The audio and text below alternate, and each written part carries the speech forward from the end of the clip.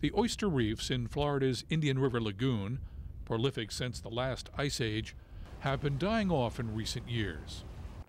University of Central Florida researchers have figured out why and are now working to restore them. The why is simple. Boat wakes in these normally quiet tidal waters push living oysters above the high tide line. These oysters die and form a barrier for the rest of the reef. These dead margins eventually kill off the entire reef. The solution?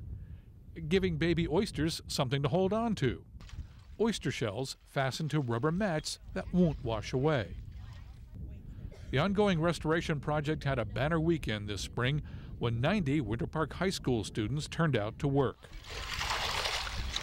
The stations we have set up, they are going and they're quality controlling them because the first time around mats aren't always perfect.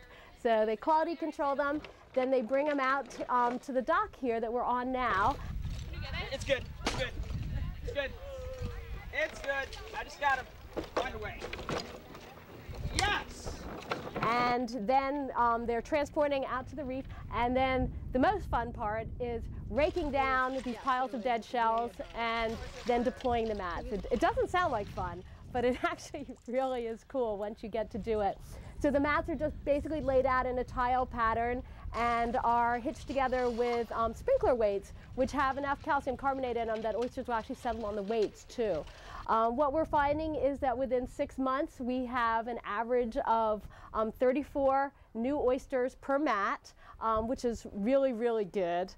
Ninth grade biology teacher Samantha Fisher says this is sometimes a very new experience for city kids. The interesting part of it is they don't get out there in nature very much. Lots of them haven't ever touched hand tools and stuff like that, so they're getting a, a different exposure than what they're used to. Um, less technology, more natural, and so it's great that they can have that. Makes them more well-rounded as individuals, I think. My hope is that by doing this that they feel more connected with Florida, and as a result they want to preserve it and take care of it. And if they walk past a piece of trash, they know to pick it up rather than make it someone else's problem. That's so true, yeah. And like, and that it's important what we're doing. Yeah, and like really little things can like affect the whole community. So far, the project has restored about seven acres of reefs in Mosquito Lagoon and is on track to complete 10 more this year.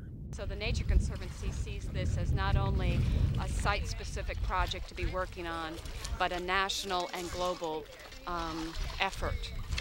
Those Winter Park High School students have another keepsake for their day. The reef they restored is now called Wildcat Reef for their school mascot. This is Jerry Klein for UCF Reports.